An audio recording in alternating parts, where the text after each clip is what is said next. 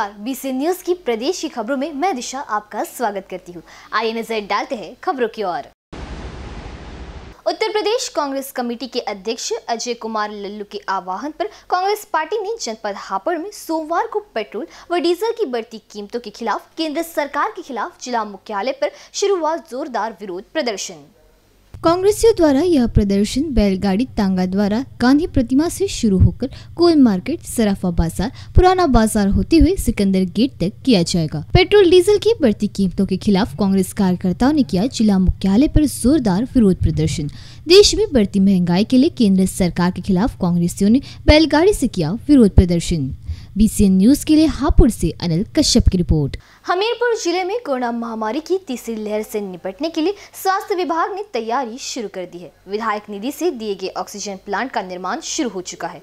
दो से तीन दिन में ज़िले के अस्पतालों में मौदा सीएचसी में बने इस ऑक्सीजन प्लांट से सप्लाई शुरू हो जाएगी। कोरोना महामारी के दौरान ऑक्सीजन की कमी को पूरा करने के लिए ज़िले का पहला ऑक्सीजन प्लांट बन रहा है। ऑक्सीजन प्लांट को बनाने के लिए सदर विधायक ने अपनी निधि से पचास लाख रुपए का अनुदान किया था यूपी के हमीरपुर ज़िले में उत्तर प्रदेश सरकार ने कोरोना महामारी से निपटने के लिए ऑक्सीजन प्लांटों के निर्माण कराने के लिए बजट भेज दिया है। ज़िले में सबसे पहला ऑक्सीजन प्लांट मौदा सीएससी में बनाया जा रहा है। दो से तीन दिनों में इस प्लांट की स्वास्थ्य संबंधी जरूरतों के लिए ऑक्सीजन की सप्लाई शुरू कर दी जाएगी। ऑक्सीजन प्लांट की ओपनिंग को लेकर सीएमओ ने ऑक्सीजन प्लांट पहुँच निरीक्षण किया। ऑक्सीजन प्लांट के निरीक्षण के दौरान ज़िले के आला अधिकारियों सहित सीडीओ और सीएमओ मौजूद रहे। ऑक्सीजन प्लांट की ओपनिंग का काम सीडीओ और सीएमओ को सौंप दिया गया है। कब तक ये तैयार हो जाएगा? देखिए प्लांट हमारा आ चुका है आपके सामने है। सेट भी निर्मित हो चुका है। अभी इसकी फिटिंग का काम है।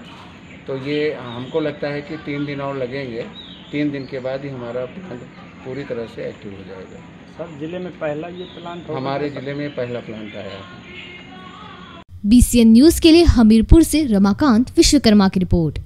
सुल्तानपुर के अंतर्गत थाना गोसाईगंज में दो पक्षों में जमीनी विवाद को लेकर मारपीट हो गई, जिसके बाद गोसाईगंज में तैनात दरोगा आनंद गौतम विवाद को संज्ञान में लेकर मौके पर गए थे। इस दौरान दरोगा आनंद गौतम, इस दौरान दरोगा आनंद गौतम आवेश में आकर एक पक्ष की महिलाओं को मारा पीटा गया, जिसके बाद गाँव की जनता उग्र हो गई और दरोगा के खिलाफ तत्काल कार्रवाई की मांग करते हुए टांडा बांधा हाईवे को जाम कर दिया। हालाँकि मौके पर पहुँचे सीओ गोसाईगंज ने जनता को समझा बुझाकर शांत कर रोड को खाली कराया गया।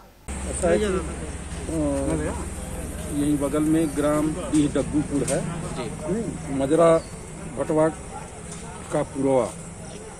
यहाँ रेणु पत्नी सरवन और द्वितीय पक्ष हैं पूजा पत्नी संतोष के बीच जो है हरजन बस्ती हरजन आबादी को लेकर के उस पर कब्जा को लेकर के विवाद था जिसमें कालर संतोष की सूचना पर वहाँ भटमई पुलिस चौकी के अधिकारी कर्मचारी और आपके ये एक सौ बारह ये दोनों जो है पहुँची वहाँ समझाया बुझाया गया।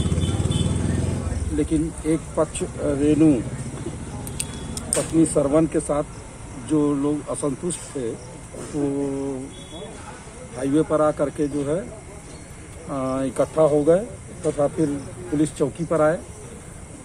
इस बीच में भी आ गया, समझा बुझाकर वापस कर दिया गया है। इसमें आवश्यक विधिक कार्रवाई की जाएगी। सर, कुछ महिलाओं द्वारा कहा जा रहा है कि उनके साथ मारपीट की गई है किसी पुलिसकर्मी द्वारा? दिखवा लेते हैं। अगर ऐसा है तो उचित कार्रवाई कराई जाएगी। सर वो सीधा नाम लेके बता रहे हैं कि आनंद गौतम ने हमको देख लेते हैं। इस बारे आनंद गौतम ने ऐसा किया है तो वो उसके भुक्तभोगी हैं। देखा जाएगा। आवश्यक कार्रवाई होगी।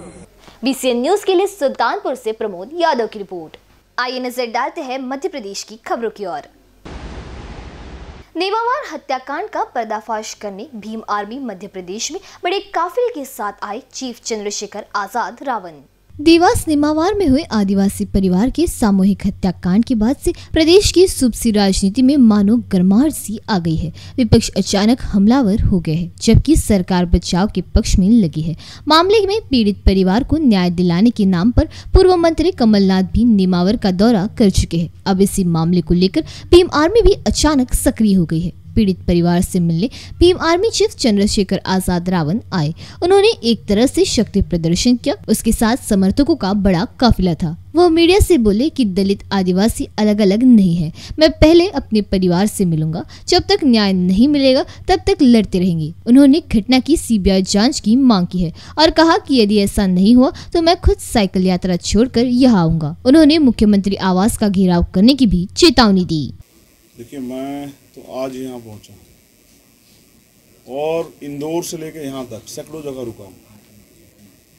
एक बहुसंख्यक भीड़ जो रोड पर जमा थी, उसका यही कहना था कि इस घटना की सीबीआई जाँच होनी चाहिए। देखिए, लोकतंत्र और न्याय प्रणाली इसी बात पर टिकी हुई है कि जो पीड़ित परिवार है या आम जनमानस है, उसका संतुष्टिकरण बहुत ज़रूरी है। इसको तो कोर्ट भी कहता है कि पीड़ित अगर संतुष्ट नहीं है तो वो न्याय नहीं हो सकता है। तो पीड़ित परिवार, जिस, मैं भी पीड़ित परिवार से मिला, वो जो भाई, अभागा भाई जो वहाँ हैं और वो बहन। और उन्होंने जो मुझे बताया, उसके बाद मुझे भी लगता है, उनकी मांग भी है कि इस घटना की सीबीआई जाँच होनी चाहिए।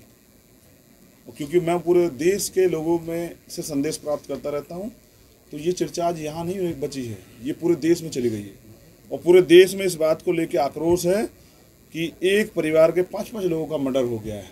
अड़तालीस दिन तक बॉडी भी बरामद नहीं हुई और पुलिस अपराधी जो अपराधी है, वो पुलिस के साथ घूम रहा था।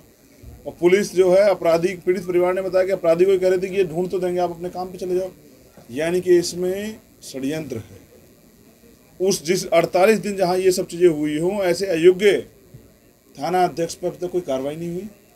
यहाँ के सर्किल अधिकारी को कार्रवाई नहीं क्या आदिवासी दलित जो हैं, ये कीड़े मकोड़े हैं कि इनकी हत्या करना जो है, कोई अपराध नहीं है? और अगर चार, पाँच पाँच सामूहिक हत्याएँ हो रही हैं तो ऐसे जो, अयोग्य पुलिस अधिकारी, उनकी क्या ज़रूरत है? जिनके राज में हो रही है। जहाँ तक मैं समझता हूँ, हमारी मांग भी है कि मुख्यमंत्री सीबीआई जाँच की घोषणा करें। और इसमें सीबीआई जाँच हो, वो भी सुप्रीम कोर्ट के जजों के निर्देशन में, जिससे कि आम जनता, जिसमें एक डर का, भय का माहौल व्याप्त हो गया है जो कई लोगों से मैंने ये भी सुना कि वो तो प्लान करने की बात भी कर रहे हैं। तो ऐसे में तो अगर प्रदेश से लोग प्लान करेंगे तो जाएँगे कहाँ? तो दुखद है। और जो अभी मुझे बताया गया कि मेडिकल रिपोर्ट सब चीज़ें, मैं इन सब चीज़ों में क्योंकि रहता हूँ लॉयर होने की वजह से, मैं जानता हूँ कि बहत्तर घंटे के बाद तो जीवित व्यक्ति से जीवित जो है, जो पीड़ित है, उससे पुष्टि नहीं होती। बलात्कार की और सब चीज़ों की, और पुलिस उस पर टिप्पणी नहीं कर सकती है। तो हम तो देखते हैं 48 दिन बाद जो बॉडी मिली है, और जिस तरह से वहाँ बताया गया कि भाई वहाँ नमक डाला गया, यूरिया डाला गया, और भी कोई केमिकल शायद डाला हुआ जिनका इतना अच्छा प्लान था। तो क्यों नहीं वो एविडेंस नष्ट किए होंगे? तो एविडेंस टेम्परिंग का मुकदमा भी होना चाहिए, और सेक्शन फोर का मुकदमा इन अधिकारियों पे होना चाहिए, जो यहाँ बैठे हुए चैन से सो रहे हैं, वो परिवार डर के साय में है। तो उस परिवार की सुरक्षा के लिए और सुरक्षा के साथ इस मामले को फास्टर कोर्ट में चलाया जाए अपराधियों को सख्त से सख्त सजा हो सीबीआई जाँच हो और जो जो अधिकारी कर्मचारी इसमें इन्वॉल्व हैं जिन्होंने न्याय को प्रभावित करने का काम किया जो नेता इसमें इन्वॉल्व है उन पे भी जो है शिकंजा कसा जाए जिससे कि मध्य प्रदेश की जनता जो है वो ये समझे कि सरकार में न्याय भी होता है। और अगर ये नहीं होता तो हम ये मान लेंगे कि ये मुख्यमंत्री जो हैं ये आदिवासी और दलित विरोधी है और ये कभी नहीं चाहता कि न्याय हो आदिवासियों के साथ। ये अपराधियों का जो फ़ोटो वायरल हुआ था क्षेत्रीय विधायक और मुख्यमंत्री के लड़के के साथ में, इस, इसमें आप किस नज़र से देखते हैं? देखिए, अगर 48 दिन तक अपराधी जो है खुला घूम रहा है तो अगर हमारा सिस्टम इतना कमज़ोर हो गया है कि उसको अपराधी के साथ घूमते हुए उसको पता नहीं है, जबकि पीड़ित परिवार ने मुझे बताया कि हमने उनको शक ज़ाहिर किया था कि इस व्यक्ति द्वारा ये हो सकता है। और फिर उस व्यक्ति के हौसले तो देखिए उस पीड़ित बच्ची ने मुझे बताया कि वो हमसे भी कह रहा था कि तुम दोनों मेरे साथ चलो किसी बाबा के पास जाके पता करके आएँगे वो बता देंगे कि वो लोग कहाँ हैं। यानी कि इतना बड़ा घटना को अंजाम दिया गया प्री प्लानिंग और फिर उसको छिपाया गया। तो इसका मतलब ये अकेले कुछ लोगों का तो काम नहीं है। चार चार लोगों के खिलाफ और उन्होंने शक ज़ाहिर किया उन पर कार्रवाई अब तक नहीं हुई। उनको तो पूछताछ के लिए भी नहीं बुलाया। तो कहीं ना कहीं सत्ता का संरक्षण अपराधियों को मिल रहा है और मैं इस बात को पूर्ण बेहतर तरीके से समझता हूँ कि अगर अपराधियों को सत्ता का संरक्षण होगा तो अन्याय बढ़ेगा। कल किसी और परिवार के साथ होगा। तो हम ये आज इसलिए लड़ रहे हैं, कल किसी और परिवार के साथ ये ना हो। और ऐसी कानून व्यवस्था क्या फ़ायदा जो न्याय नहीं दिला सकती हो? ये इतनी मोटी मोटी तनख्वाह लेने वाले अधिकारी कर्मचारी किस लिए हैं? और अगर इन पर दबाव है तो ये मामला हम कहीं और ट्रांसफ़र करवा लेंगे। हम तो चाहेंगे दिल्ली आए मामला। और वहाँ इसकी जाँच हो, और वहाँ ही कोर्ट में चले तो हम इन सबको ले चलेंगे वहाँ दिल्ली। तिहाड़ में, और वो बता रहे हैं आप आरोपी जो है, देवास जेल में।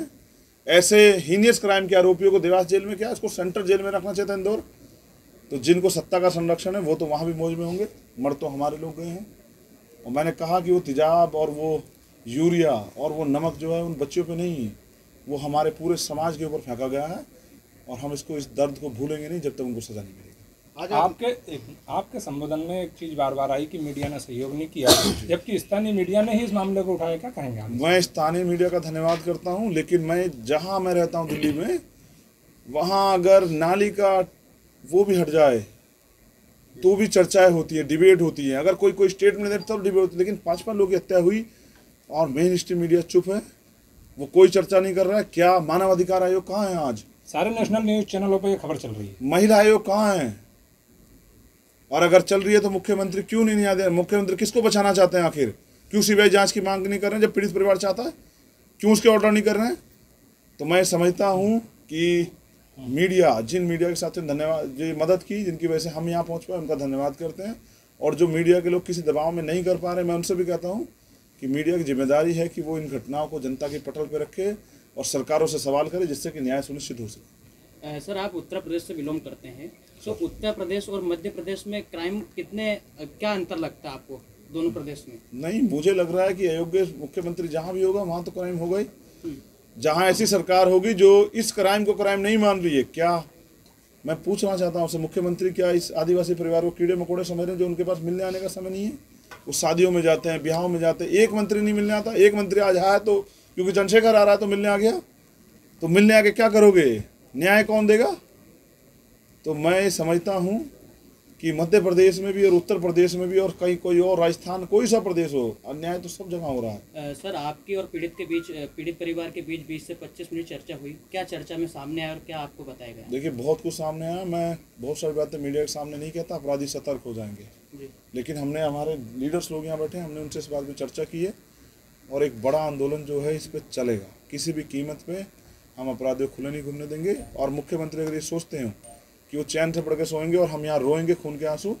तो नहीं हम उनको भी चैन से नहीं सोने देंगे हमारी लीडरशिप जो तय करेंगे आंदोलन तो मुझे मुझसे भी जो उम्मीद करेंगे अगर मुझे दोबारा बुलाएँगे तो मैं मैं भी रहूँगा। मगर मैं अब कल दिल्ली से हमने तय किया कि हम अपनी लीडरशिप से बात करके जल्दी जो है मध्य प्रदेश भवन का गिराव करेंगे दिल्ली में। और जो बाकी यहाँ जो भी आंदोलन होगा वो यहाँ की लीडरशिप जो तय करेगी हम उसके साथ खड़े रहेंगे। सर आपके और यहाँ के कार्यकर्ताओं जेएस पार्टी कार्यकर्ताओं के बीच बंद कमरे में चर्चा हुई। सर आगामी क्या तैयारी आपकी यही चर्चा है कि अकेले अकेले क्यों मरे? जब लड़ाई एक है रास्ता एक है और जब एक जैसे लोगों से पीड़ित हैं और अधिकार एक जैसे लोग छीन रहे हैं तो क्यों नहीं मिलकर लड़ रहे हैं? और ये जो पीला गमछा आज आप देख रहे हैं मैं तो हमेशा बहुजन एकता पे हुआ है तो हम इस बात को आगे बढ़ाएँगे। कि अब अपनी लड़ाई को हम मिलकर लड़ेंगे ऐसे इकट्ठा होकर। मैंने तो वहाँ भी मुट्ठी बंद करवाई थी ऐसे कि हम एक हैं और हमें एकजुटता से इस, सिस्टम से लड़ना पड़ेगा। और क्योंकि हमारा राज नहीं तो हमें सहना तो पड़ेगा ही। लेकिन अगर हमारे लोग तैयार हो जाएँ मध्य प्रदेश के तो यहाँ राज भी बदल सकता है। धन्यवाद मीडिया के सभी साथियों का। और आशा उम्मीद करूँगा कि इस मामले में जैसे जो जो आगे होगा आप उसको उठाते रहेंगे जिससे कि एक परिवार को न्याय मिले। क्योंकि ये बहन बेटी कल किसी और की भी हो सकती है। सर अभी कुछ समय पहले सर एक एक लोग एकत्रित हुए थे संगठन के। सर वहाँ पे मीडिया के मुर्दाबाद के नारे भी लगाए गए थे और मीडिया का विरोध किया गया था सर। जिसके वीडियो सोशल मीडिया पे वायरल हुए थे और यहाँ के स्थानीय कार्यकर्ताओं को ये जानकारी है। देखिए मैं मैं समझता हूँ कि विरोध है जनता का और ये कभी कभी नेताओं को भी सहना पड़ता है मीडिया को भी सहना चाहिए क्योंकि बड़ी घटनाएँ जब होती तो जनता के अंदर आक्रोश होता है। मगर मैं तो धन्यवाद कर रहा हूँ आपका। और मैं दोबारा भी धन्यवाद कर देता हूँ आपके सहयोग के लिए इस पहल के लिए क्योंकि सरकार के खिलाफ आवाज़ उठाना मीडिया के लोग मैं तो दिल्ली में रहता हूँ। सीबीआई की ईडी वाले आ जाते हैं इनकम टैक्स वाले आ जाते हैं आईबी वाले आ जाते हैं तो मीडिया के लोग जो कर रहे हैं उनका धन्यवाद जो नहीं कर रहे हैं उनको भी करना चाहिए। बीसीएन न्यूज़ के लिए देवास से महेश वारिवा के साथ अरुण उइके की रिपोर्ट। प्रदेश के राज्यपाल महामहिम मंगू छगन पटेल ने आज सुबह 11 बजे श्री महाकालेश्वर मंदिर पहुंचकर भगवान महाकाल का विधि विधान से पूजा अर्चन किया। पूजन पंडित घनश्याम शर्मा द्वारा कराया गया। राज्यपाल ने गणपति मंडप की बैरिगेटिंग की प्रथम रोज से पूजन अर्चन किया। डॉक्टर मोहन यादव, विवेक जोशी मौजूद थे। पूजन उपरांत महाकालेश्वर मंदिर के प्रशासक एवं एड नरेंद्र सूर्यवंशी ने महामहिम राज्यपाल को शाल प्रसाद एवं भगवान महाकालेश्वर की भेंट कर उनका स्वागत किया। बीसीएन न्यूज़ के लिए उज्जैन से महिरुद्दीन कप्तान की रिपोर्ट। आइए नज़र डालते हैं बिहार की खबरों की ओर। भागलपुर ज़िले के जगदीशपुर प्रखंड में शुक्रवार को लोकनाथ उच्च विद्यालय एवं बोजनी ग्राम पंचायत में कोरोना टीकाकरण अभियान चलाया गया। कोरोना वैक्सीनेशन को लेकर अब लोग जागरूक होने लगे हैं। तो वैक्सीन की कमी स्वास्थ्य कर्मियों के लिए मुसीबत का कारण भी बनने लगा है। दरअसल, शुक्रवार को बैजानी पंचायत में वैक्सीनेशन कार्य की जानकारी मिलती, बैजानी टीकाकरण केंद्र पर ग्रामीणों की भीड़ इकट्ठा होने लगी। वैक्सीनेशन के नाम पर लोगों ने सोशल डिस्टेंसिंग का जमकर मज़ाक बनाया। लोग टीका लगाने तो पहुँचे, लेकिन अधिकांश लोग बिना मास्क के ही नज़र आ रहे थे। सामुदायिक स्वास्थ्य अधिकारी सुरेंद्र कुमार का कहना है कि पहले कुल साढ़े तीन सौ डोज आया था। भीड़ को देखते हुए फिर पचास डोज और बढ़ाए गए। कुल चार सौ लोगों को टीका लगाया है। साथ में ANM Babita Kumari, Chandralekha Kumari, Usha Kumari, verifier Vikas Kumar BMI Bhanuranjan, anganwadi सेविका सपना कुमारी, डॉली कुमारी, प्रियंका भारती, वर्षा कुमारी, पूनम देवी, विनीता कुमारी, रश्मि रानी आशा, लता कुमारी मौजूद थी। आज जो सर बैजानी पंचायत में वैक्सीनेशन हो रही है। कुल कितने लोगों को पड़ा गया टीका? आज बैजानी में वैक्सीनेशन टोटल 400 बेनिफिशरी 400 लोगों को हमने वैक्सीन दे दिया अभी तक। और हमें जो टारगेट मिलता है हम अपने टारगेट टारगेट पे खरा उतरते हैं और मैक्सिमम टारगेट अचीव कर भी लेते हैं। और लोगों में जो कुछ लोगों में बेजानी के लोगों में बहुत ही मोटिवेट हैं। बेजानी के लोगों में बहुत उत्साह है। और बहुत अच्छे तरीके से वैक्सीन लेते हैं। और ये देखते हैं कि सुबह से ही वैक्सीन लेने के लिए लोग बहुत उत्तेजित रहते हैं और टाइम पे वैक्सीन ले भी ले लेते हैं और मैक्सिमम बेजानी के लोगों ने वैक्सीन ले भी लिया है। आप अपना परिचय बता दें मेरा नाम सुरेंद्र कुमार सामुदायिक स्वास्थ्य अधिकारी और मैं यहाँ पे जनवरी से पोस्टेड हूँ और मुझे जो टारगेट दिया जाता है वो उसका हम अचीव कर लेते हैं। बीसीएन न्यूज़ के लिए भागलपुर से अमरजीत सिंह की रिपोर्ट। बीसीएन न्यूज़ की प्रदेश की खबरों में फ़िलहाल इतना ही। ऐसे अन्य और खबरों से जुड़े रहने के लिए देखते रहिए बीसीएन न्यूज़ नमस्कार।